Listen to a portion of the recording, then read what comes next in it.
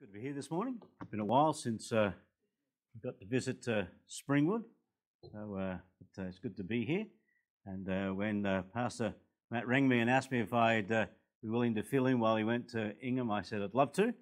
Always enjoy visiting up here, so it's good to be here today.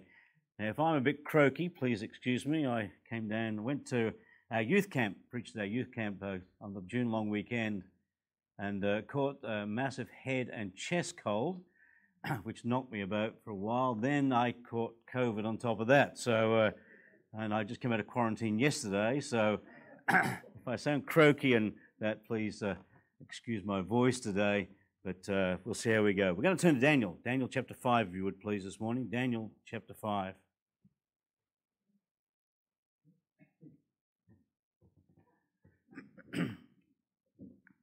and uh, we're just going to read the first four verses of Daniel chapter 5. We're going to look at the whole chapter, but we're going to just read the first four verses before we have a word of prayer. Chapter 5, verse 1 Belshazzar the king made a great feast to a thousand of his lords and drank wine before th- the thousand.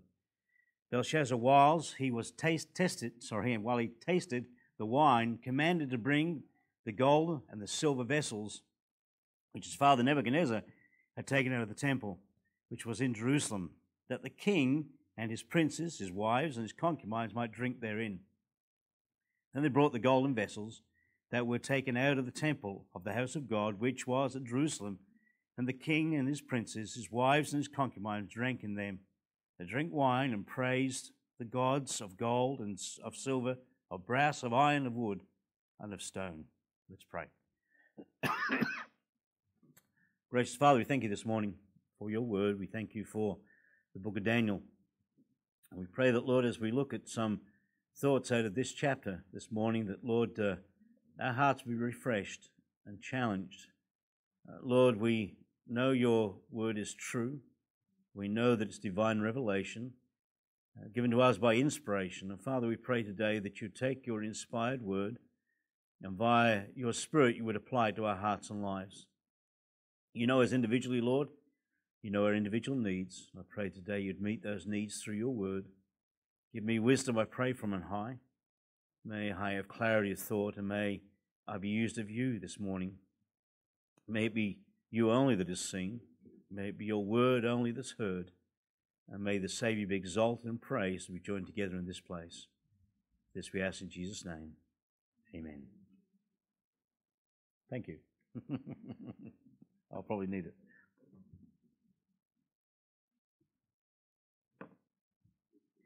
By the time we come to Daniel chapter 5, we find that Daniel has been in Babylon for several years.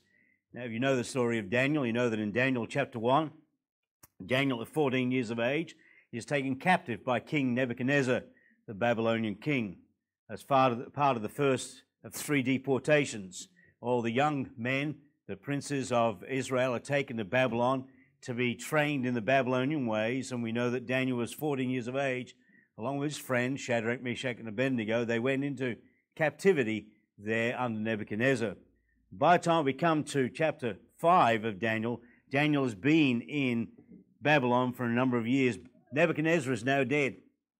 And Nebuchadnezzar's grandson, Belshazzar, is upon the throne. And in Daniel chapter 5, God demonstrates how long suffering and how merciful he is to a sinner in allowing us another opportunity to serve Him, another opportunity to be saved. Because you know, like Belshazzar, one day time will be over.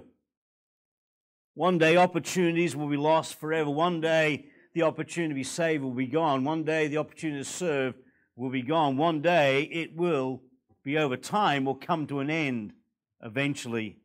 And all of us one day will face the judgment. Unless we today do right, unless today we are saved, unless today we're serving the Lord, unless today we're doing right, one day it will be too late. And in Daniel chapter 5, Belshazzar is holding a party. And I want you to see when, first of all, this morning the party begins.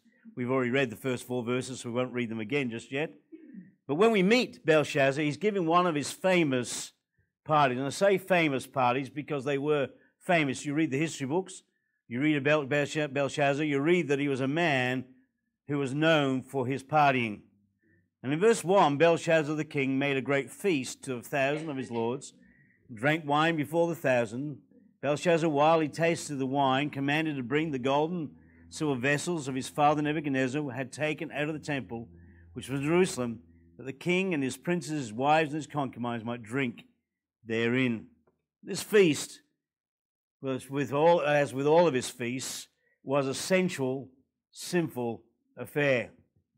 What we find here is a king who is not concerned about who God is, not concerned with acknowledging there is a God in heaven, not concerned uh, with living for God. We find a king who just lives for self, lives for pleasure, and lives for sin. It's recorded in the history books that Belshazzar spent all night partying and getting drunk and spend all day sleeping it off. And that was his cycle of life. He would drink, get drunk, and sleep it off the next day, have a party, get drink, get drunk, have a party, uh, sleep all the next day. And that was his pattern of life. So much so that in verse 3 we read, Then they brought the golden vessels that were taken out of the temple of the house of God, which were, was at Jerusalem. And the king and his princes and his wives and his concubines drank in them. They drank wine and praised the gods of gold, of silver, of brass, of iron, of wood, and of stone. Now, this scene of Daniel chapter 5 is a scene of absolute stupidity. Not only because of the partying, not only because he's getting drunk, not only because he's drinking out of the vessels from the temple, but if you know what's happening at the time of this party, you know that this is absolute stupidity. Because history tells us that for three years, Belshazzar's enemies have been planning to overthrow Babylon. In fact, Belshazzar was known for three years that his enemy was advancing on him, and now the enemy was at the gate of the city ready to attack that night. For three years, his enemies, the Medo Persians, have been diverting the watercourse that runs under the city of Babylon into another watercourse. They'd been building a dam, and this night they were going to divert the water away from under the city, and they were going to enter the city under the, the gates where the water flowed. And they've been planning this for three years. You can't just do that overnight. For three years, they've been planning this. For three years, they've been working on this water course. For three years, they've been heading towards Babylon. And this night, they're at the gates of the city, and Belshazzar is partying. It's a scene of stupidity. He continued to sin with no thought for the future. He's more concerned with enjoying life than living for the Lord. He's more concerned with enjoying life and living in sin than for his safety. And you know, as you read this chapter, I don't know about you, but I can't help but think that that sin is a lot like our world today. You know, our world generally has no time for God. Our world has no concern for the impending danger because we know, those of us who say, we know that Jesus is coming again. And we know that when he comes, the next event on God's prophetic calendar is the tribulation. And the tribulation is going to be a time of God pouring out his judgment on the world like never has been seen before. And our world is on, carrying on as though nothing is going to happen, happen looking towards the future, living uh, in sin, living as though there's nothing to worry about not concerned about the impending danger. Eternity is standing at life's door, yet man is unconcerned.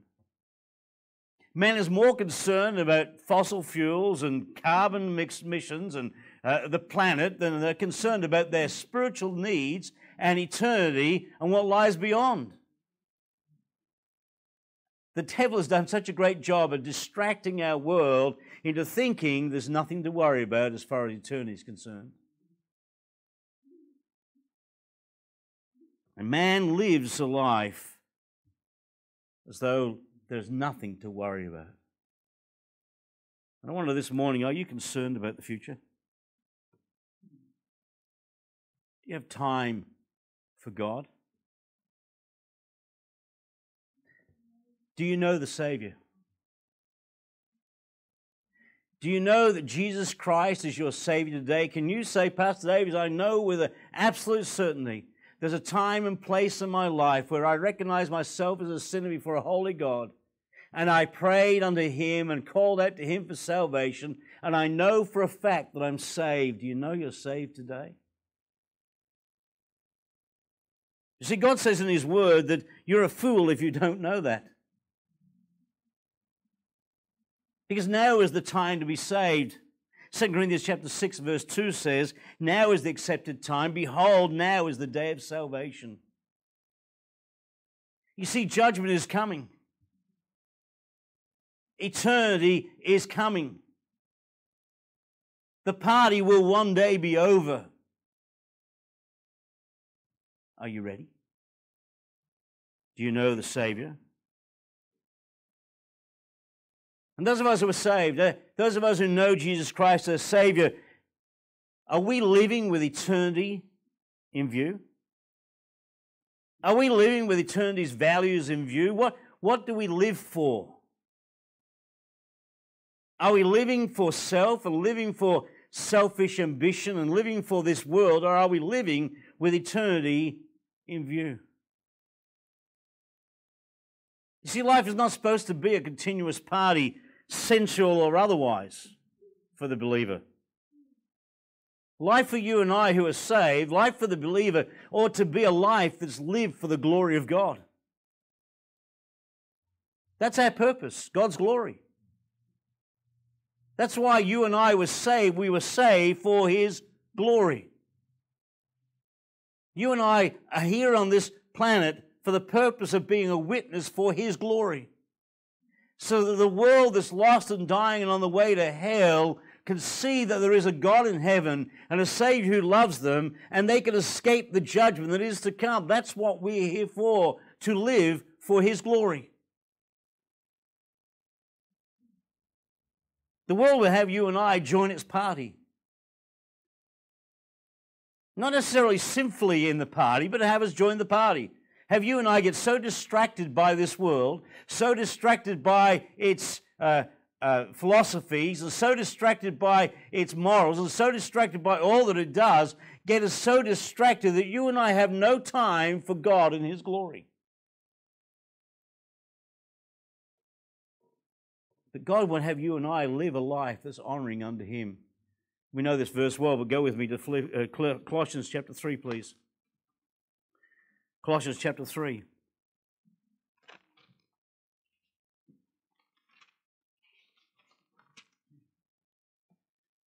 Verse 1 says, If ye then be risen with Christ, seek those things which are above, where Christ sitteth on the right hand of God. Set your affection on things above, not on things of earth, for ye are dead, and your life is hid with Christ in God. And Christ, who is our life, shall appear then shall you also appear with him in glory. We're to set our affection on things above, not on things of the earth, because we are risen with Christ.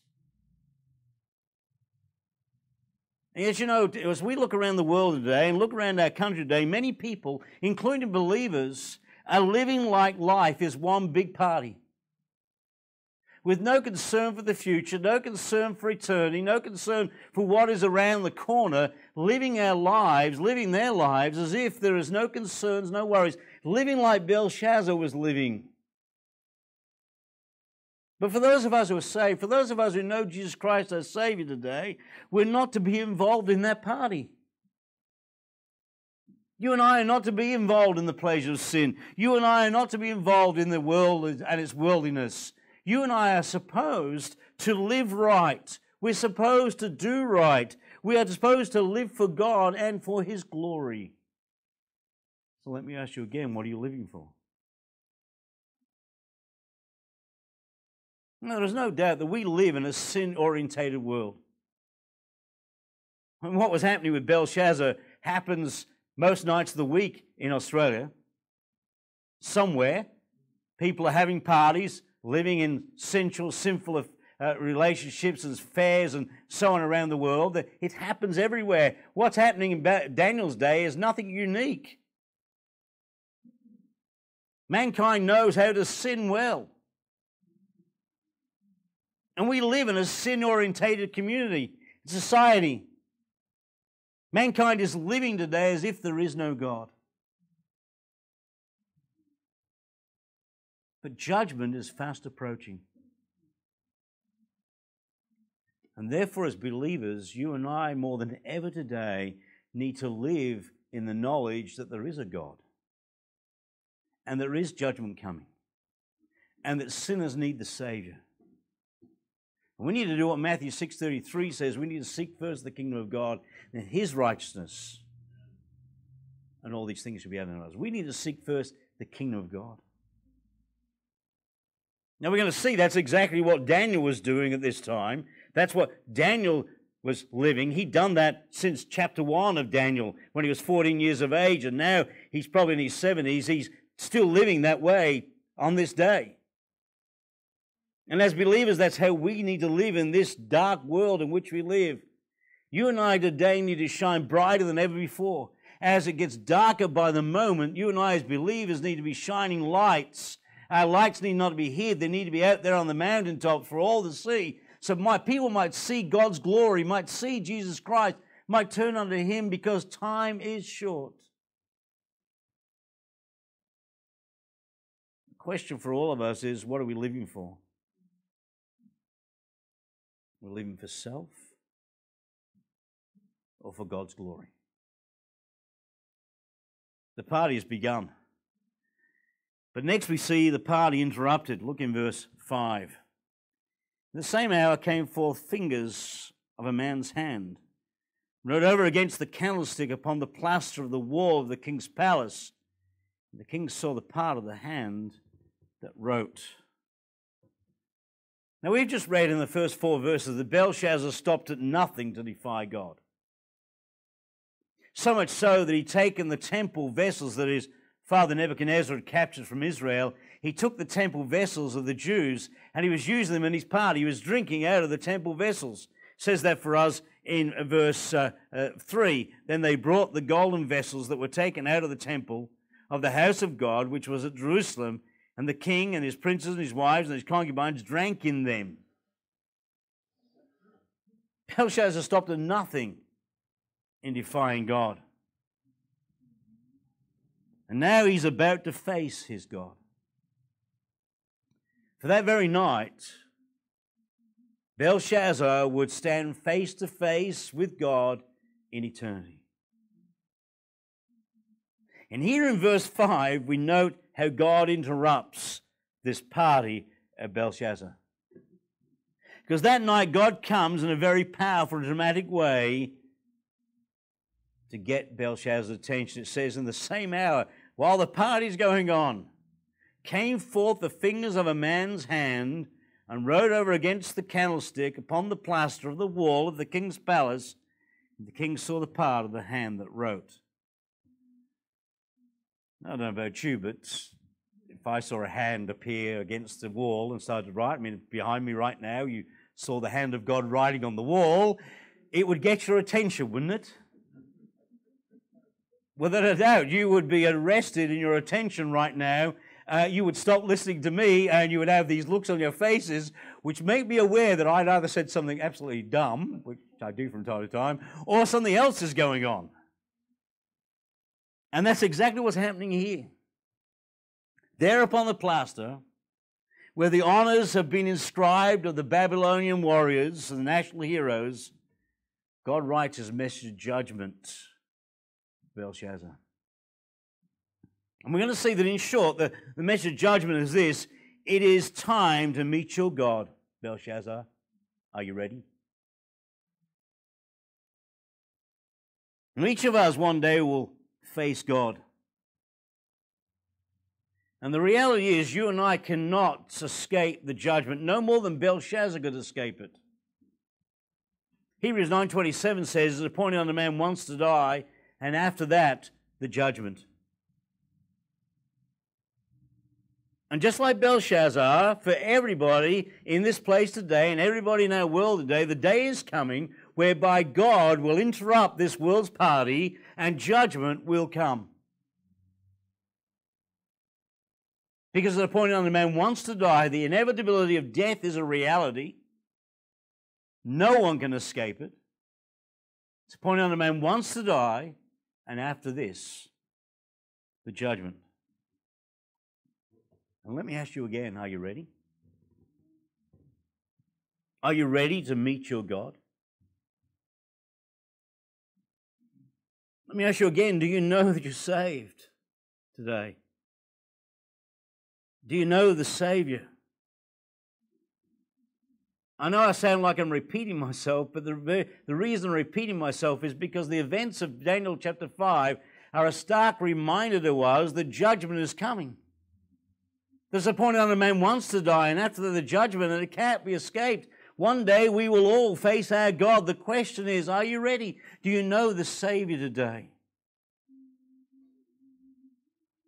You see, Christ died for each and every one of us. He died so that our sins might be forgiven. He died so that we might have salvation, so that you and I might have our sins forgiven, that you and I might have a home in heaven, that you and I might look forward with joy to meeting our God. You see, Daniel in this story is going to come and intervene in the events of this night, and Daniel is a man who is not afraid to meet his God. Because Daniel knew God. Daniel had lived for God. Daniel had served God. Daniel was saved. And the question for us is do you know the Savior? You know, John 3.16 says, For God so loved the world that he gave his only begotten Son, that whoso believes in him shall not perish but have everlasting life. Christ died for you and for me because God loved us. So let me ask you again are you ready to meet your God? And if not, if you don't know the Savior, why not today before it's too late? You see, Belshazzar was living a life of party and fun with no concern or thought of the future, no concern or thought of God, no concern or thought of eternity. But that very night, he met his God. And today may be the day that you meet your God. Are you ready? Once again, if we're saved, are we ready to meet the Lord? Are we living for God? It's as certain as it is for an unsaved man like Belshazzar to face his God one day, it's as certain for you and I. It's appointed unto man, all man, and all women. It's appointed unto us, appointed to die, and after that, the judgment, all of us, even those who are saved, will one day face our God. Are we ready? Will we hear him say, Well done, thou good and faithful servant?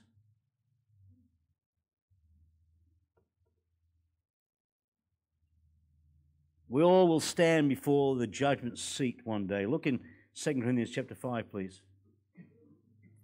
2 Corinthians chapter 5.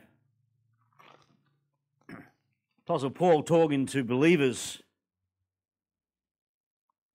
makes this statement 2 Corinthians 5 9. Wherefore we labor that, whether present or absent, we may be accepted of him. We must all appear before the judgment seat of Christ, that every one may receive the things done in his body according that he hath done, whether it be good or bad. Knowing therefore the terror of the Lord, we persuade men, we are made manifest unto God, and I trust also made manifest in your consciences.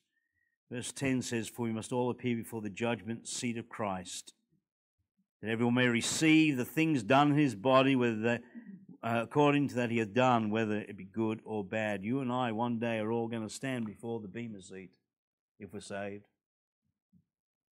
And we're going to be judged according to our works.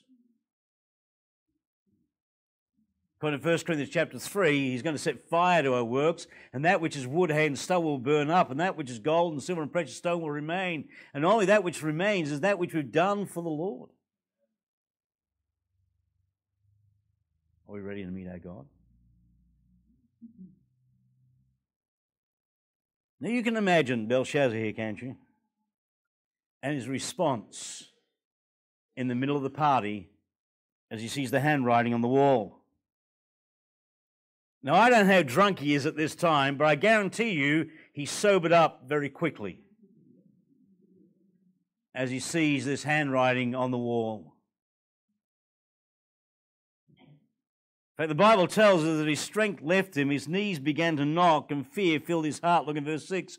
Then the king's countenance was changed, his thoughts troubled him, so that his joints of his loins were loosed, and his knees smote one against another. He's a little nervous right now. His knees are knocking, his stomach is churning, he's feeling rather unwell. One commentator said, pale, confused, and trembling at the knees, the king arose and called for help from his Chaldean magicians, which is what he does in verse 7. The king cried aloud to bring the astrologers, the Chaldeans, and the soothsayers. And the king spake and said to the wise men of Babylon, Whoso shall read this writing and show me the interpretation thereof, shall be clothed with scarlet, have a chain of gold about his neck, and shall be the third ruler in the kingdom. Then came in all the king's wise men, but none could read the writing, nor make known to the king the interpretation thereof. Then was the king Belshazzar greatly troubled, and his countenance was changed in him, and his lords were astonished. You know, the king offers to all of his wise men in the kingdom, he offers them a high position. If they'd only tell him what the words mean and give the interpretation of those words, read the writing, give the interpretation thereof, he would give them great riches. Now, the amazing thing here is that, you know, most times in those kingdoms, the magicians would have made up a story just to get the reward. But in this instance, as they look at the writing on the wall, they can't even read the writing let alone interpret the writing. They had never seen anything like this. They never encountered anything like this in their lives. They had no means of interpreting for Belshazzar what was going on. Therefore, he is greatly troubled because he knows this is significant. But he doesn't know the significance of it.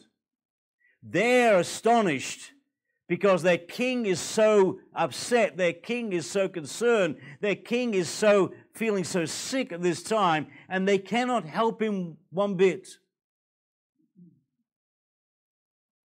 Because the world has no answers. The world could not tell Belshazzar what he needed to hear. The world had no answer for him. Just like today, the world has no answer for our needs. The world has no answer for the world's problems. The world thinks it has the answers, but Jesus Christ is the only answer. Whatever other crises are going on in this world, the thing that people need the most is Jesus Christ. With all the other crises and all the, you know, the fuel prices and all the food crisis and everything other crisis going around the world, Jesus Christ is the answer. And the world doesn't need another scientist. The world doesn't need another uh, spiritual leader who has no idea about who God is. The world doesn't need another political leader. What the world needs today is Jesus Christ, the King of Kings, the Lord of Lords, the Prince of Peace. What the world needs today is his children, those of us who know the Savior, to let them know who Jesus is. And that's what Belshazzar needed all of his earthly leaders and helpers and astrologers couldn't help him one bit. They were completely baffled. They could neither read nor interpret the writing. Now it's interesting, when the wise men were called to explain the writing on the wall to Belshazzar, Daniel wasn't called. Now, I don't know the real reason why he wasn't called. It seems that by this time, maybe Daniel is semi retired. As I said, he's around 70 years of age at this time. He still holds government office, yet it seems like he's out of the loop. That his grandfather Nebuchadnezzar had listened to him and had used him as his advisor, but Belshazzar had rejected Daniel for some reason. And so, when all these wise men, all these uh, chancellor, chancellors come, when all these Chaldeans come, when all these soothsayers come, Daniel is not amongst them.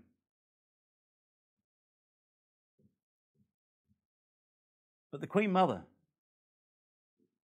according to Daniel chapter 5, verse 10 through 12, remembers Daniel. Notice what it says in verse 10. Now the Queen, by reason of the words of the king and his lords, came into the banquet house, and the Queen spake and said, O King, live forever. Let not thy thoughts trouble thee, nor let thy countenance be changed. There is a man in thy kingdom in whom is the spirit of the holy gods. Now, in the days of thy father, light and understanding and wisdom, like the wisdom of the gods, was found in him, whom the king Nebuchadnezzar, thy father, the king, I say, thy father, made master of the magicians, astrologers, Chaldeans, and soothsayers.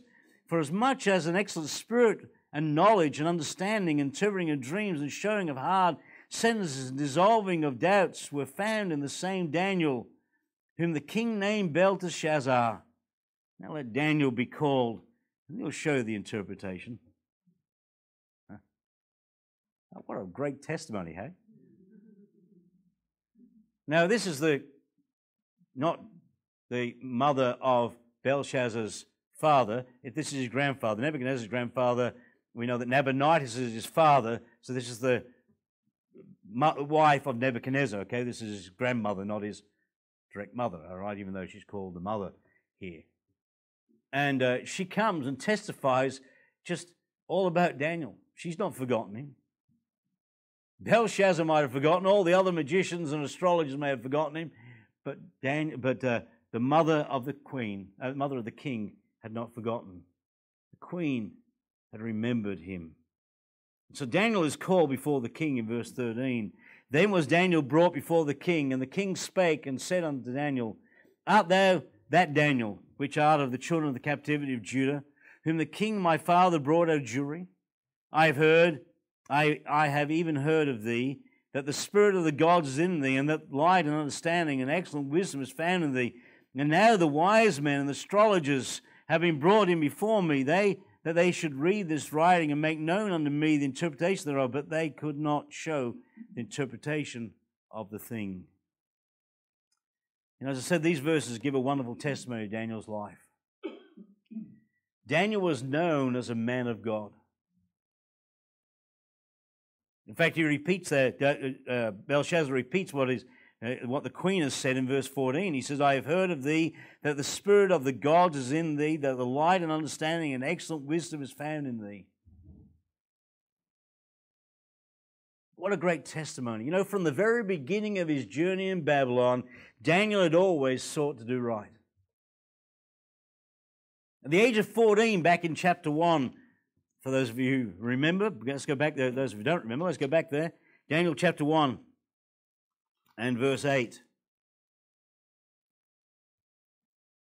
says, But Daniel purposed in his heart that he would not defile himself with the porch of the king's meat, nor with the wine that he, which he drank. Therefore he requested of the prince of the eunuchs that he might not defile himself.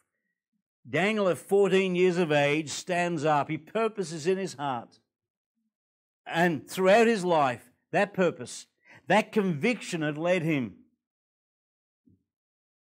he never wavered. When you get to Daniel chapter 6, which we're going to look at tonight, at the end of his life, at 84 years of age, he still has that purpose of heart. He still has that conviction. For 70 years, Daniel has a purpose of heart, a conviction for his God, and everybody knows it, except for Belshazzar. Everybody knows it. They know about Daniel and his testimony. So when they needed answers, when the king is confronted with the reality of eternity, when he realizes that that night something significant has happened, when he realizes that the world cannot help him, when he realizes his spiritual leaders cannot help him, when he realizes that the soothsayers cannot help him, he turns to the only man in the kingdom who can, the man who loves the God of heaven. It's the testimony of Daniel that leads to this opportunity for Daniel to intercede, reveal just how great God is. At the time of greatest need, they turned to Daniel. Some one commentator said this: when everything seems seems great, when the party is going non-stop, God and His servants are mocked, neglected, and hidden away. But when the hand of heavens writes on the walls of one's life a sobering message, panic stricken worldlings cry out for the one who has the Spirit of God. You know, Daniel had a testimony, a great testimony. And like Daniel, you and I need to have a testimony, such a testimony that this world, as it tumbles into chaos, can look upon the stormy sea and see something that makes sense that Jesus Christ is the answer, and that you and I, as believers, are the means by which they can find the Savior. See, the world is looking for answers. They're looking in the wrong place, but they're looking for answers.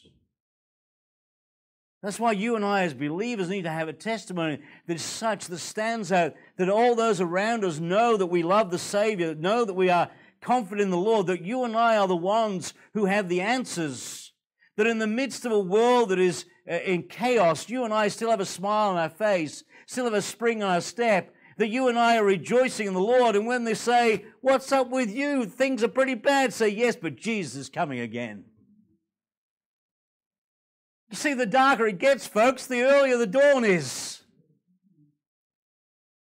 And for believers, we shouldn't be walking around with long faces and all worried about what's going on in the world. Sure, it's a terrible place we live in, but Jesus is coming again.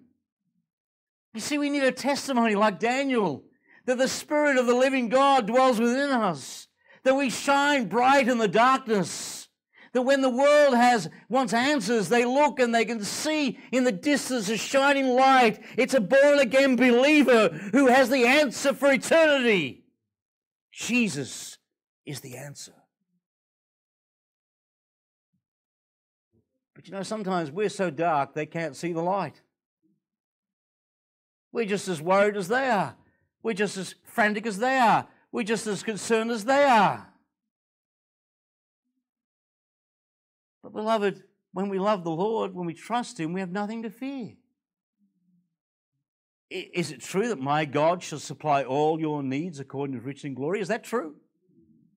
Then what are we worried about?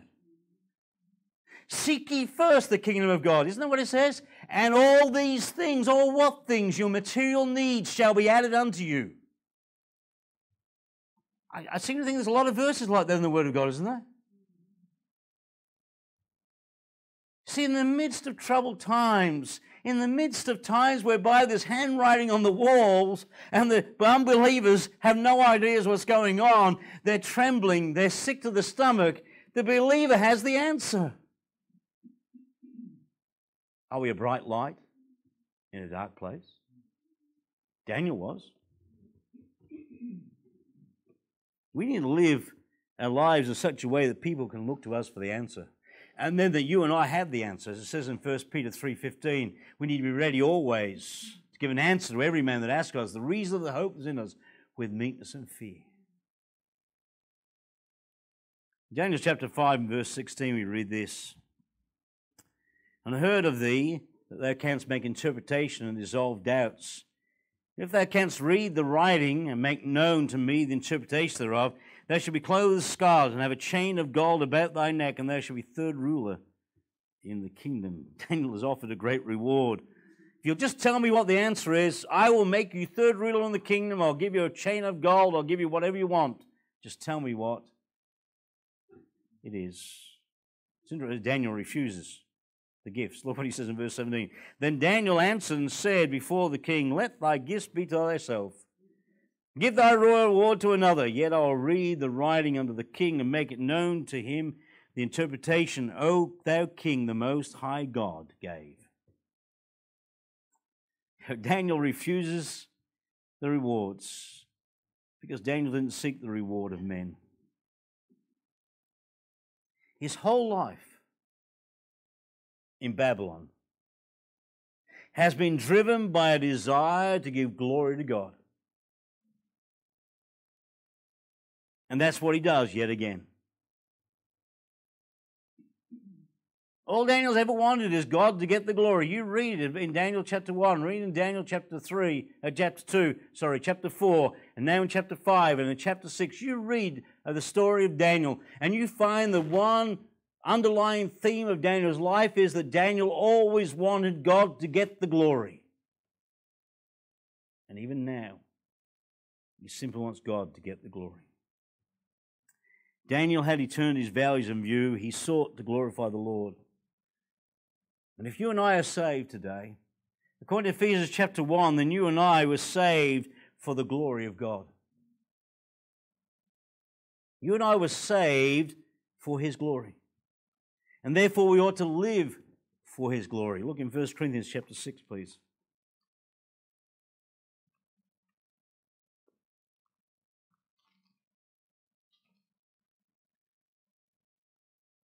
1 Corinthians chapter 6 and verse 19.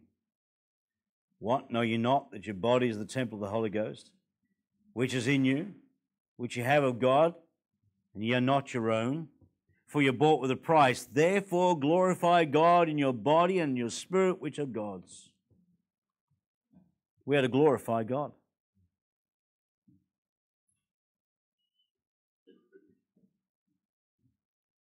Party having been interrupted by the hand of God now comes to an end. And so, thirdly, this morning, let's look at the party's over. The party's over. Verse 18, we read, O thou King, the Most High God, gave Nebuchadnezzar thy father a kingdom and majesty and glory and honor. What we find here is the last sermon that Belshazzar ever heard on earth. And what a sermon it is, by the way. Daniel holds nothing back. And Daniel told him what happened firstly to his grandfather Nebuchadnezzar. And now, because he was stiff necked and hard hearted, he then tells him what's going to happen to him. Look in verse 19. And for the majesty that he gave him, all people, nations, and languages trembled and feared before him. Whom he would, he slew. And whom he would, he kept alive. And whom he would, he set up. And whom he would, he put down. But when his heart was lifted up, and his mind hardened in pride, he was deposed from his kingly throne, and they took his glory from him. And he was driven from the sons of men, and his heart was made like the beasts, and his dwelling was of the wild asses. They fed him with grass like oxen, and his body was wet with the dew of heaven, till he knew that the Most High God ruled in the kingdom of men, and that he appointed over it whomsoever he will. He tells him what happened to Nebuchadnezzar, his grandfather. Nebuchadnezzar, that head of gold that was talked about in Daniel chapter 2. This great king, Nebuchadnezzar, who had been given by God such a lofty place, such a a great responsibility of the kingdom of Babylon, but who had no thought for God. And God had to bring him down low, and he brought him to the place whereby he was like the animals of the field, and he ate the grass, and the dew of the earth sat upon him. Excuse me. And God's word tells us he then turns to God of heaven. And when he does, God delivers him. In the case of Nebuchadnezzar, when God got his attention, Nebuchadnezzar listened to God. But in the case of Belshazzar, Belshazzar has no time for God. And so we read in verse 22 And thou, his son, O Belshazzar, hast not humbled thine heart, though thou knewest all this, but hast lifted up thyself against the Lord of heaven they brought the vessels of the house before thee, and thou and thy lords, thy wives, and thy concubines have drunk wine in them, and thou hast praised the gods of silver and gold, of brass, of iron, wood, and stone, which see not, nor hear, nor know, and the God in whose hand thy breath is, and whose are all thy ways, hast thou not glorified. You see, Belshazzar is in a different position than Nebuchadnezzar. When Nebuchadnezzar was confronted with who God was, Nebuchadnezzar turned to God and received God as the God of heaven. Belshazzar knew that. This was his granddad. You can't tell me that this grandson had never heard the stories of his grandfather ending up like an animal in the field eating grass. Uh, no. This is, this is a legendary story. This is a story that would have been told by the princes and by all the other people in the palace and by Nebuchadnezzar himself and by the queen mother as well. These may well have been bedtime stories he told about the God of heaven. Belshazzar knew about God. He knew who God was. He knew how great God was. He knew what God had done for Nebuchadnezzar. And he knew how Nebuchadnezzar glorified the God of heaven. And yet he rejected God. And because he has, he's now about to face the consequence. Daniel preached the truth. And now he was about to face his God. Belshazzar rejected the truth. And now he is about to face the judgment. Today, more than ever, our world and our friends need to hear the truth. You see, one day the party will be over. One day it will be too late for our unsaved friends, our unsaved family to hear the gospel and be saved. They need to hear it today. Because one day, like Belshazzar, the party's going to end. They're going to come face to face with the judgment. And what they've done with Jesus Christ is the only thing that will matter. Daniel now interprets the writing on the wall. It says in verse 24, Then was the part of the hand set from him. And this writing was written, and this is the writing that was written. Mene, mene, tekel upharsin. This is the interpretation of the thing. Mene, God hath numbered thy kingdom and finished it. Tekel, thou art weighed in the balances and art found wanting. And Peres, thy kingdom is divided and given to the Medes and the Persians. Thy kingdom is numbered, weighed and divided. Thy kingdom is finished. Belshazzar fell short of God's requirements. And Babylon is going to be divided amongst the Medes and the Persians. The enemy is even now silently passing through the streets of the city on the way to the royal hall. As Daniel's making this declaration, Darius the Mede is leading his troops silently through the city for a bloodless coup that night. God was about to put an end to the party. Belshazzar fell short of God's standard. Belshazzar, like so many today, had let God out of, left God out of his life. And like Belshazzar, all of us have fallen short of God's glory, for the Bible tells us all of sin and come short of the glory of God. All of our righteousness is filthy rags according to Isaiah 64 6. And the wage of sin is death, according to Romans 6.23. But the good news is that salvation awaits all who will receive Jesus Christ as Savior. Because while we have breath, while we have time, you can still be saved. You see, until you breathe the last breath, God still will save you. And will save our families and friends if they'll just turn to the Savior. You and I have all been weighed in the balances. You and I have all been found wanting, and one day we'll stand before God. And so let me ask you again are you ready to meet your God? If you don't know the Savior, one day it will be too late. Why not trust Him today? Are you ready to face eternity? Are you saved?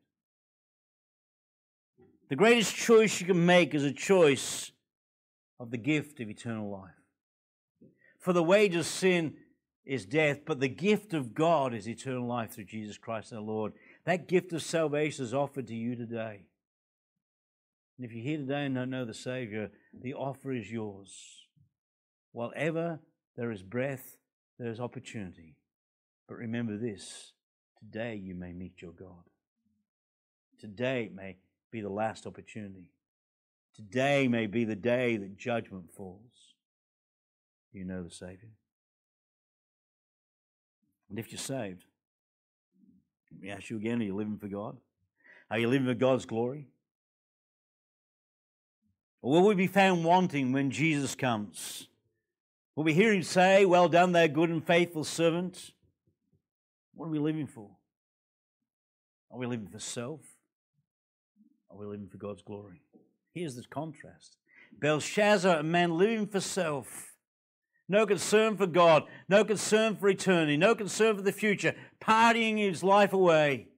Daniel, a man who purposed in his heart at 14 years of age to live for his God, to serve his God, to do whatever God required of him. And here are these two men standing face to face. One is sure of eternity, he knows the Savior. The other is going to spend eternity separated from God in the lake of fire because he failed to choose God.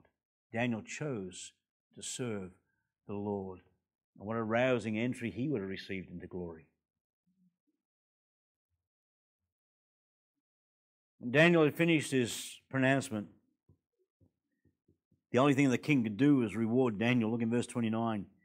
Then commanded Belshazzar, and they clothed Daniel with scarlet and put a chain of gold about his neck, made a proclamation concerning him that he should be the third ruler in the kingdom. In that night, it says, was Belshazzar the king of the Chaldeans slain, and Darius the Median took the kingdom, being about threescore and two years old. It was too late, Belshazzar. The party was over. He missed God's of salvation. That night, Darius the Mede and his army swarmed in the city. On the dry riverbed that ran through the city, that riverbed that they'd been damming up for three years. That night, Darius and his army marched in under the gates on the muddy riverbed into the city. He led a bloodless coup. The city of Babylon woke up the next morning to a new king. The only one who died, by the way, was Belshazzar that night. They woke up to Darius the king. They'd climbed onto the walls of the city, into the palace. Now, the city of luxury and fame woke the next morning to a new king, a new nation in control, and their beautiful city in shambles. God's word had been fulfilled. Belshazzar met his God that night. There's no other chapter of the Bible, Daniel 5, we are brought face to face with the awful reality that it's appointed unto man once to die. And after that, the judgment. We all need to make sure that we're ready to meet our God. Let me ask you again are you ready? Are you ready? Let's pray. Gracious Father, we thank you for your word this morning. Thank you for the book of Daniel. We thank you, Father God, for the challenge of Daniel chapter 5. Lord God, the reality that eternity is standing at the door. And what we do with Christ now determines where we'll spend eternity. And what we do with Christ now determines our rewards in eternity. Lord, challenge us today to be ready to meet our God. Bless now we pray. In Jesus' name. Amen.